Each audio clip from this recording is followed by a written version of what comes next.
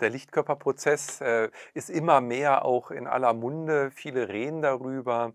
Und äh, natürlich würde uns jetzt ganz stark interessieren, wie würdest du diesen denn für dich beschreiben, diesen Lichtkörperprozess? Also was ist überhaupt der Lichtkörper? Ja, grundsätzlich ist es natürlich ein riesiger Kokon aus Licht, auch aus hochfrequentem Licht, aus göttlichem Licht, der spontan geweckt werden kann aus der geistigen Ebene, weil die Zeit reif ist. Bei mir war es so, dass ich den aktiv geöffnet habe, aktiv aktiviert habe. Und äh, zwar geht es um den neuen Lichtkörper. Und die Idee des neuen Lichtkörpers ist es, dass du Strahlen der Göttlichkeit und des Erwachens in deine Aura einwebst. Das sind sehr stabile, permanente, hochfrequente Strahlen. Und die beginnen dann, ja, dein Bewusstsein zu erweitern, beginnen all die Begrenzungen und Illusionen, die wir so tragen im menschlichen Leben, in der dritten Dimension, ähm, sichtbar zu machen, so dass du dann entscheiden kannst, uff, da hat es etwas, das begrenzt mich, das verändere ich oder ich behalte es. Diese Entscheidung ist natürlich jedem freigestellt. Und so beginnt sich die Zellfrequenz zu verändern. Erinnerungen, die in den Zellen da sind, werden wach, solche, die dich begrenzen, so dass sie angehoben werden in diesem Licht. Begrenzungen, die im Mentalkörper, im Emotionalkörper da sind, so dass eigentlich dein Raum im physischen mit all diesen Körpern, die wir da tragen, dass der mehr und mehr zu einer Einheit wird mit diesem hochfrequenten Licht der Göttlichkeit ähm, verbunden und äh, deine Resonanz durch die Anhebung der Frequenz in der Welt eine andere wird. So beginnst du dann dein Leben über Resonanz, über Frequenzen zu verändern. Mhm. Ja, da sind ja von dir eben auch schon grundsätzliche göttliche Prinzipien und Gesetze angesprochen, also zum Beispiel das Gesetz der Resonanz, also dass man das auch anzieht, was man aussendet. Ähm, und du sagtest eben ja auch äh, schon zwischendrin, dass es die Zeit jetzt reif ist. Also ähm, hat das auch was mit der allgemeinen Schwingungserhöhung zu tun? Heißt das also, dass der Lichtkörperprozess erst jetzt in dieser Phase der Evolution für uns möglich wird?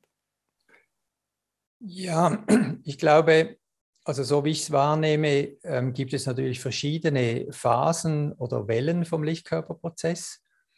Und eine erste Welle war 1987 mit dieser astrologischen Konvergenz, die wir da hatten.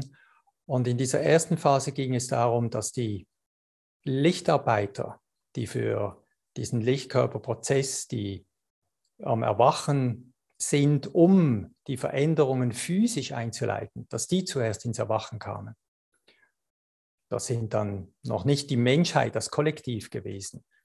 Und bei mir ging dieses Erwachen im 2004 los, eigentlich so in einer zweiten Welle.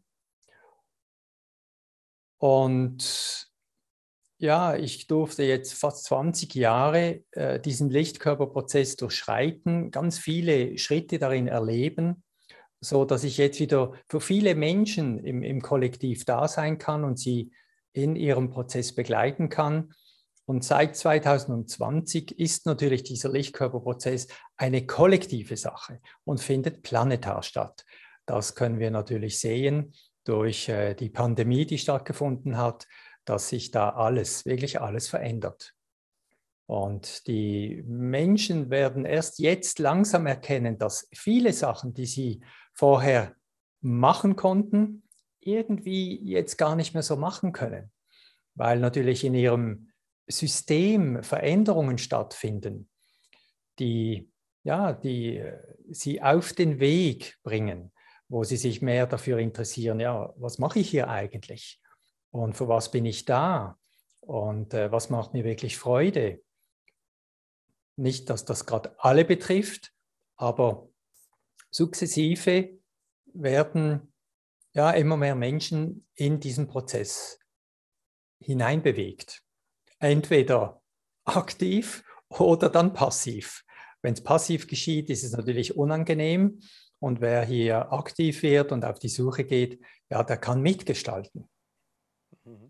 Ja, aber was meinst du, wird aus einem passiven geschubst werden dann auch ein aktives Gehen und Freude daran entwickeln, nicht automatisch?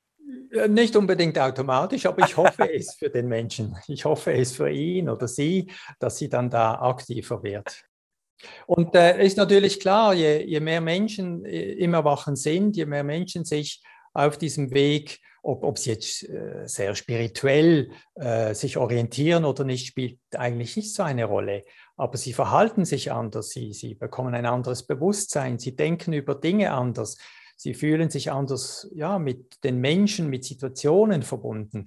Also da sind sehr viele unterschiedliche Bewegungen da, wo das Leben nicht mehr einfach so weitergeht in der Norm, wie wir das vor der Pandemie, Pandemie hatten. Und ähm, nur für die, den meisten Teil der Menschheit ist, ist der Prozess im Moment eigentlich unbewusst. Hm. Also er hat schon begonnen bei ganz vielen, ohne dass sie Ja, es ja. wissen, aber er führt letztendlich auch ja, zum Erwachen und in die Transformation. Das ist also ja letztendlich wahrscheinlich auch unvermeidbar. Die Frage ist eben, ja, wie so ein Wecker, ja, wenn der Wecker klingelt, der eine hört ihn eher, der andere später und äh, jeder steht dann auch zum anderen Zeitpunkt auf. Aber generell hat der Wecker für die Menschheit schon geklingelt, würdest du sagen? Auf jeden Fall. Und weißt du, Transformation und die, die Entwicklung des Planeten geht nicht unbedingt nur in die Richtung, dass alle spirituell werden. Er geht in eine Richtung, wo sich einfach diese Welt, in der wir leben, äh, vollständig in einer Veränderung ist. Diese Veränderung hat viele Perspektiven.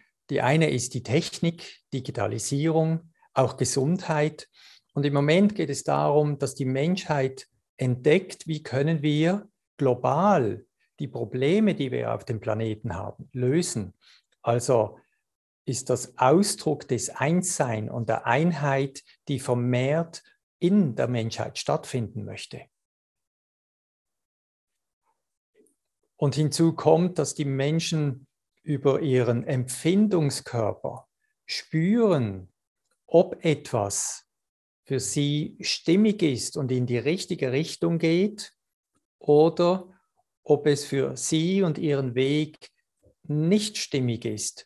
Das ist so eine Ebene, die über diese göttlichen Teilchen gesteuert wird und über eine Empfindung, eine Ganzkörperwahrnehmung in den Menschen jetzt viel bewusster da ist. Und wenn sie es trotzdem nicht wahrhaben möchten, dann rebelliert der Körper. Ja, da sehen wir dann Symptome, die uns auffordern, eben Genau. zu handeln oder mal hinzuschauen oder uns das ins Bewusstsein letztendlich rufen. Und Bewusstsein ähm, scheint mir ja auch nochmal ein Schlüssel zu sein, wie du gerade sagtest, um diesen Lichtkörperprozess dann vielleicht auch aktiv zu unterstützen. Was kann ich denn da tun? Also wenn ich jetzt mal davon ausgehe, ich habe es bisher unbewusst gemacht, das heißt ja letztendlich, es startet eh schon. Ähm, und wenn ich dann in das Bewusstsein komme, kann ich das aktiv unterstützen?